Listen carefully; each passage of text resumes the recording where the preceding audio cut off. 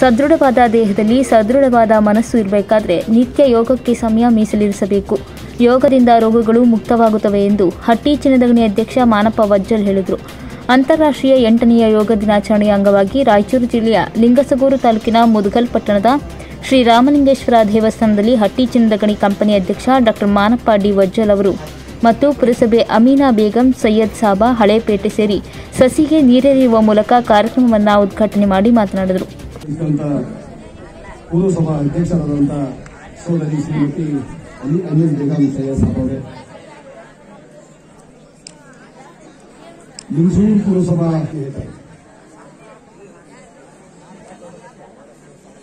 ಇವತ್ತಿನ ದಿವಸ ಬಹಳ ಒಂದು ಮಹತ್ವದ ದಿನ ಇವತ್ತು. ಸಾವಿರಾರು ವರ್ಷಗಳಿಂದ ನಡೆದುಕೊಂಡು ಬಂದಂತಹ ಯೋಗ ಹಿಂದೆ ಋಷಿಗಳು ಮಹರ್ಷಿ ಮುನಿಗಳು ಯೋಗವನ್ನು ಮಾಡ್ತಾರಂತಕ್ಕಂಥದ್ದು ಕೇಳ್ತಾ ಇದ್ದೀವಿ, ಓದ್ತಾ ಇದ್ದೀವಿ. ಆದರೆ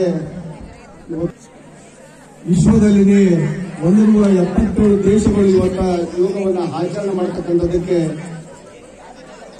ಏನಾದರೂ ಯೋಗದ ಬಗ್ಗೆ ಅದರ ಮಹತ್ವವನ್ನು ತಿಳಿಸಿಕೊಟ್ಟವರು ಯಾರಂದ್ರೆ ನಮ್ಮ ದೇಶದ ವಿಶ್ವವೇನೆ ಮೆಚ್ಚಿದಂತಹ ನಾಯಕ ಪ್ರಧಾನಮಂತ್ರಿ ನರೇಂದ್ರ ಮೋದಿಜಿ ಅವರು ಅಂತಕ್ಕಂಥ ಮಾತನ್ನು ಇವತ್ತು ನಾವು ಹೇಳಬೇಕಾಗುತ್ತೆ. ಯೋಗ ಅಂತ ಬಂದಾಗ ಇದು ಪ್ರತಿಯೊಬ್ಬ ಮನುಷ್ಯನಿಗೆ ಯುವಕರಿರ್ಬೋದು ಚಿಕ್ಕವರಿರ್ಬೋದು ಮತ್ತು ವಯಸ್ಸಾದಂತ ವಯಸ್ಕರಿರ್ಬೋದು. ಇದು ಎಲ್ಲರಿಗೂ ಬಹಳ ಅವಶ್ಯಕತೆ ಇರ್ತಕ್ಕಂಥದ್ದು. ಯೋಗ ಯುಕ್ತ ರೋಗ ಮುಕ್ತ ಅಂತೇಳಿ ಅದಕ್ಕೆ ಹಿರಿಯರು ಹೇಳಿರ್ತಕ್ಕಂಥ ಗಾದಿ ಮಾತು.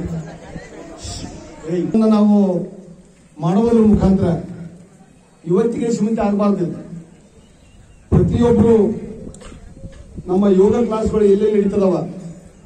ಆ ಒಂದು ಯೋಗ ಕ್ಲಾಸ್ಗಳಲ್ಲಿ ಭಾಗಿಯಾಗಿ ನಮ್ಮ ಧ್ಯೇಯವನ್ನ ಸದೃಢಗೊಳಿಸ್ತಕ್ಕಂಥದ್ದು ನಮ್ಮೆಲ್ಲರ ಕರ್ತವ್ಯ ಇದು. ಯೋಗಗಳಂದಾಗ ಅನೇಕ ರೋಗವನ್ನು ಮುಕ್ತ ಮಾಡತಕ್ಕಂಥ ಶಕ್ತಿ ಇದೆ ಯೋಗದಲ್ಲಿ. ಯೋಗದಲ್ಲಿ ನಾವು ಅನೇಕ ಅಂಗಾಂಗಗಳನ್ನು ನಾವು ಗಟ್ಟಿಮುಟ್ಟಿಯಾಗಿ ಸದೃಢವಾದ ಧ್ಯೇಯವನ್ನು ನಾವು ಬೆಳೆಸೋಕೆ ಅವಕಾಶ ಇದೆ ನಮಗೆ. ಈ ಸಂದರ್ಭದಲ್ಲಿ ತಹಶೀಲ್ದಾರ್ ಬಲರಾಮ ಕಟ್ಟಿಮನಿ, ಮುಖ್ಯಾಧಿಕಾರಿ ಮರಿಲಿಂಗಪ್ಪ, ಸಿಪಿಐ ಮಹಂತೇಶ್ ಸಜ್ಜನ, ಲಿಂಗಸಗೂರು ಪುರಸಭೆ ಅಧ್ಯಕ್ಷೆ ಸುನೀತಾ ಕೆಂಬಾವಿ, ಬಿಜೆಪಿ ಅಧ್ಯಕ್ಷ ವೀರನಗೌಡ ಪಾಟೀಲ್ ಲೆಕ್ಕಿಹಾಳ ಸೇರಿದಂತೆ ಪಕ್ಷದ ಯುವ ಮುಖಂಡರು ಹಾಗೂ ವಿವಿಧ ಶಾಲೆಗಳ ಯೋಗ ಶಿಬಿರಾರ್ಥಿಗಳು ಭಾಗವಹಿಸಿದರು Basavaraj S nine TV, Lingasugur.